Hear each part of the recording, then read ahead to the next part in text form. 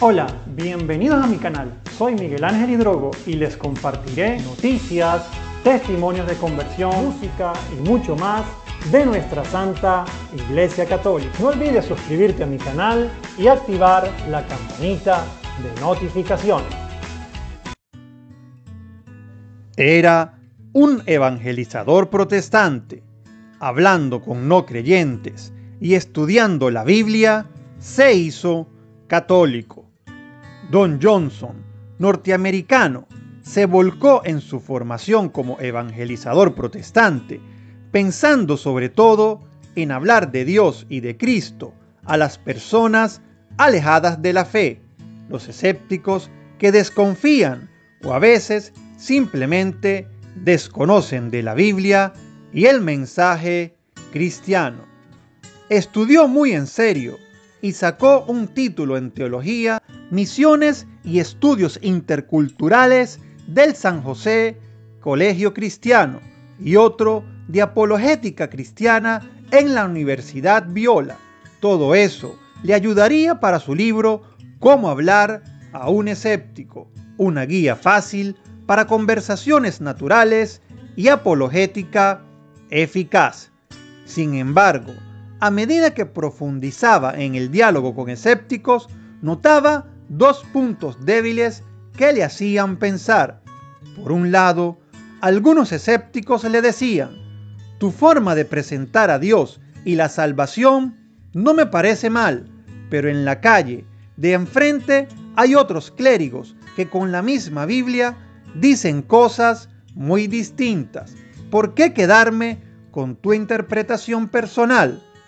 Otros escépticos, en una cantidad considerable, comentaban otra cosa que les indignaba sobre la salvación. ¿De verdad basta cumplir un mero trámite como decir reconozco a Jesús como mi Señor y Salvador para ir al cielo? En caso de que exista, es que a Dios no le interesa mejorar a la persona, no le interesan sus actos buenos o malos, solo quiere que se cumpla un ritual. Eso es lo que planteaban. Fue hablando con los escépticos, como Don Johnson profundizó en las cosas de la fe, sus creencias básicas. Así acabó estudiando a los cristianos antiguos, a los reformadores protestantes y después las respuestas de la Iglesia Católica. Mamá, ¿qué he de hacer para salvarme? En realidad, todo empezó cuando tenía unos seis u ocho años. Algo le llamó la atención en la iglesia un domingo y en casa llamó a su madre. Mamá, ven a mi habitación. ¿Cómo he de hacer para salvarme? La mamá rezó con él una oración de arrepentimiento y de confianza. Decir, Señor Jesús, confío en ti, perdóname por mis pecados, llévame a la vida eterna.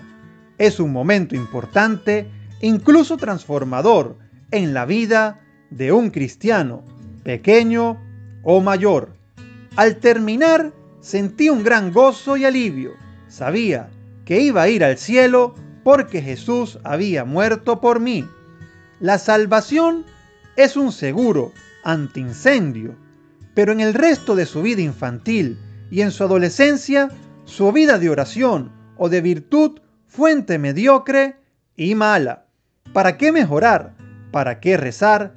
Si en cualquier caso ya tenía la póliza de seguro para ir al cielo.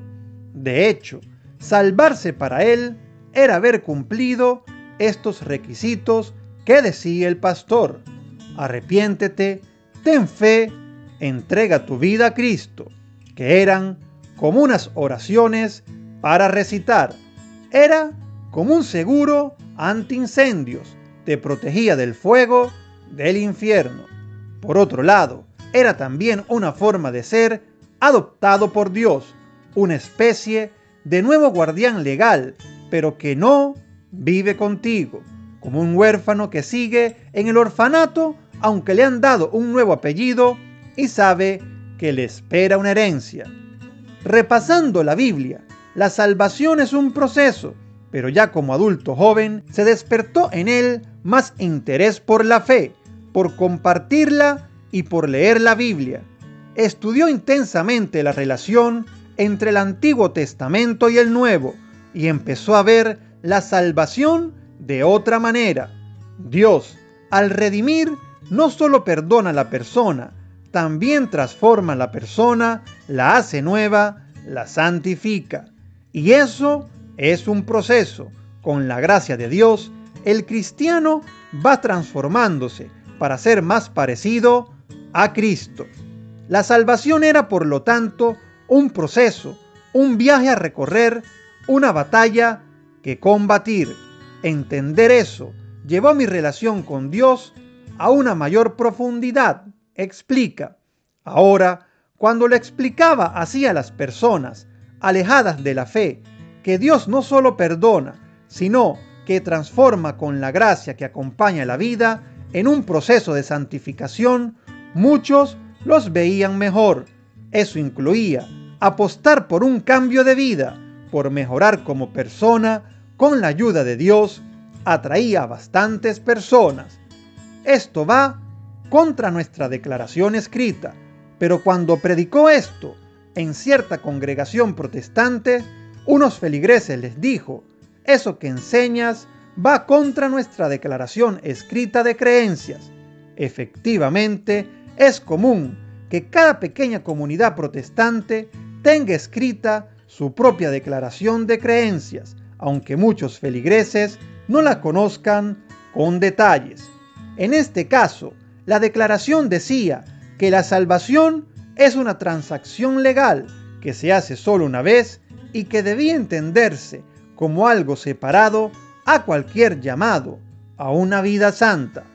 Don Johnson decidió estudiar más el tema de la doctrina de la justificación. ¿Qué significaba salvarse? ¿Cómo nos salva Cristo mediante su entrega en la cruz y su gracia? En el siglo XVI, los reformadores protestantes parecían proponer lo que hoy los protestantes llaman justificación forense. Dios declara legalmente justo ante la ley de Dios a la persona, aunque no haya cambiado por dentro su corazón, deseos, afectos. Pero eso que de niño servían a Don de póliza contra el fuego, ahora con la Biblia en la mano, no le parecía expresar bien lo que Dios hace con el pecador arrepentido. Tampoco los cristianos antiguos, los padres de la iglesia, habían creído en eso. Ellos siempre hablaban de un proceso transformador, de que la salvación consistía en ser transformados para parecernos más y más a Cristo, ser otros Cristos. La llamada justificación forense parecía ser una novedad del siglo XVI, planteada por los reformadores. Sola Escritura, un añadido protestante del siglo XVI. Y estudiando la Reforma, Don comprendió que la idea protestante de solo escritura, que la Biblia es la única guía para la vida de la fe del hombre, tampoco era algo que creyeran los cristianos antiguos. Era una doctrina novedosa, aparecida en el siglo XVI. Y lo cierto es que invocando el solo escritura, unos protestantes defienden unas doctrinas y otros las contrarias. Jesús no hizo caer del cielo un libro y dijo, haced lo que podáis para encontrar vuestra opción según vuestra interpretación. Él designó apóstoles y les dio su autoridad para liderar en su nombre. Ahora tenía una respuesta para dar a los escépticos. Yo no les daría mi mera opinión personal, sino las enseñanzas de la iglesia que Cristo fundó.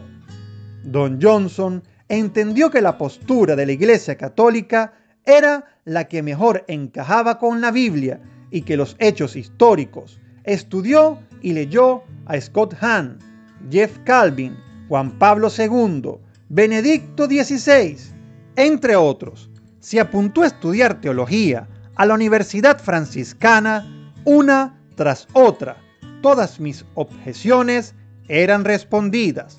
Los sacramentos no son demasiado físicos, pero le costaba entender los sacramentos tan físicos. Él venía de una tradición nada litúrgica ni sacramental. De verdad, era tan importante usar la materia, agua, pan, vino, esposos, para que Dios transmitiese gracia. Por un lado, llegó a la conclusión de que los judíos de la época de Jesús no eran gnósticos, veían el mundo sacramentalmente. Cuando Jesús dijo, esta es mi carne y esta es mi sangre, lo entendieron sacramentalmente, no como un mero símbolo. Por otra parte, él, que hablando con los escépticos les decía, hay otro mundo más allá de los sentidos, te pierdes cosas buenas que son reales, no estaba siendo injustamente escéptico con el catolicismo y sus sacramentos. También me di cuenta que ansiaba la Eucaristía y la intimidad con Cristo que me prometía. Esa fue la pieza final y fui recibido en la Iglesia Católica en la vigilia pascual en el 2015. Hoy sigue anunciando esta salvación transformadora desde su ministerio evangelizador por Internet. Me gustaría conocer tu opinión en la caja de comentarios. Muchísimas bendiciones.